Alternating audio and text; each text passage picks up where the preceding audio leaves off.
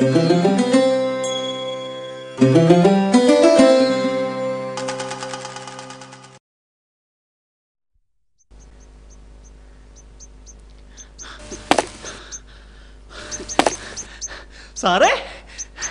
നമ്മുടെ ടോമിൻ ജെ തച്ചങ്കരി സാറിന്റെ ചീട്ട് പിന്നെയും കീറി. ഇല്ല സാറേ.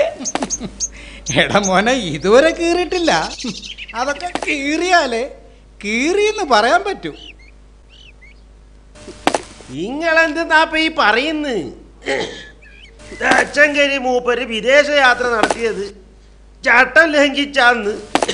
കേന്ദ്ര ആഭ്യന്തര മന്ത്രാലയം കടലാസിലെഴുതി സർക്കാരിന് അയച്ചാ പിന്നെ.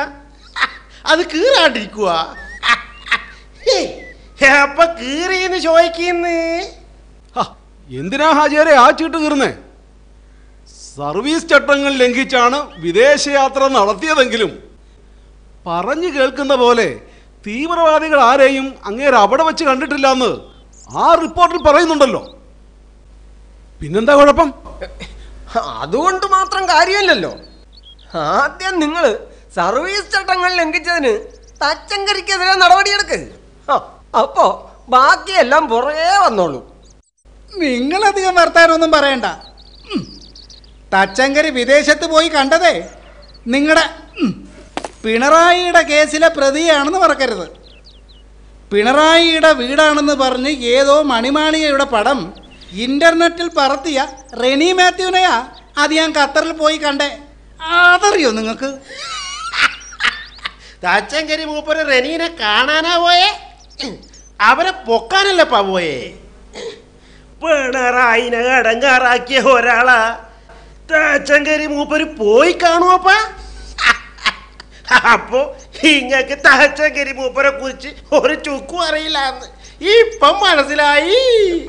നിങ്ങൾ തച്ചങ്കരി അങ്ങനെ പൊതിയൊന്നും വേണ്ട. തീവ്രവാദികളെ കണ്ടിട്ടില്ല. കണ്ടത് ക്രിമിനൽ കേസിലെ പ്രതിയാണെന്നാണ് ആ റിപ്പോർട്ടിൽ പറയുന്നതെങ്കിലും. തച്ചങ്കരി താമസിച്ച ഹോട്ടൽ ബില്ല് കൊടുത്തത് കളങ്കിത വ്യക്തിത്വങ്ങളാണെന്ന് അതീ പറയുന്നുണ്ടല്ലോ. അപ്പൊ ചീട്ട് കീറാൻ അത് പോരെ സഖാവേ. അങ്ങനെ കീറാൻ നോക്കിയാലേ കേരള പോലീസ് എന്ന പ്രസ്ഥാനം തന്നെ ഇവിടെ കീറിപ്പോകും സഖാവേ. കുടിച്ച കള്ളിന്റെയും തിന്ന ഭക്ഷണത്തിന്റെയും താമസിച്ച ഹോട്ടലിന്റെയും വാടക സ്വന്തം പോക്കറ്റിൽ നിന്ന് കൊടുക്കുന്ന എത്ര പോലീസുകാരാ സർവീസിലുള്ളേ? അതുകൊണ്ട് അതൊന്നും പറയണ്ട. അങ്ങനെ പറയാതെ കറിയാച്ച നടപടി എടുക്കണമെന്ന ശുപാർശയോടെ കേന്ദ്ര ആഭ്യന്തര മന്ത്രാലയം ഒരു റിപ്പോർട്ട് ചീഫ് സെക്രട്ടറിക്ക് അയച്ചാൽ പേരിനെങ്കിലും ഒരു തട്ട് കൊടുക്കാതിരിക്കാൻ പറ്റൂ. ഇതെന്താ വെള്ളരിക്കപ്പെട്ടണോ വകുപ്പ് അനുസരിച്ച് തട്ടിയേ പറ്റുമെങ്കിലും ഭരിക്കുന്നത് ഉമ്മൻചാണ്ടി സാർ ആയതുകൊണ്ട് അത് നടക്കോ സാറേ? ആഭ്യന്തര വകുപ്പ് പറഞ്ഞിട്ടാണ് ഈ സാറിനെ സർവീസിൽ തിരിച്ചെടുക്കുന്നതെന്നല്ലേ? ആ സാർ അന്ന് പറഞ്ഞേ. എടാ കൊച്ചനെ ഇതിനാ പാവം മുഖ്യമന്ത്രിയെ കുറ്റം പറയാതെ. ആൾ തച്ചങ്കരി ആയതുകൊണ്ട് ആര് ഭരിച്ചാലും ഇതേ ഇവിടെ സംഭവിക്കൂ. അതാണ് തച്ചങ്കരിയുടെ മെച്ചം. കടിഞ്ഞാണില്ലാത്ത കുതിര ഏതിലൂടെയും പായും.